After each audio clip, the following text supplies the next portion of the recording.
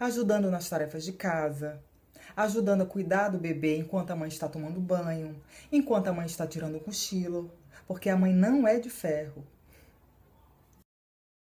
Importantíssimo, o pai deve sim ajudar a mãe durante a amamentação, durante a gravidez também.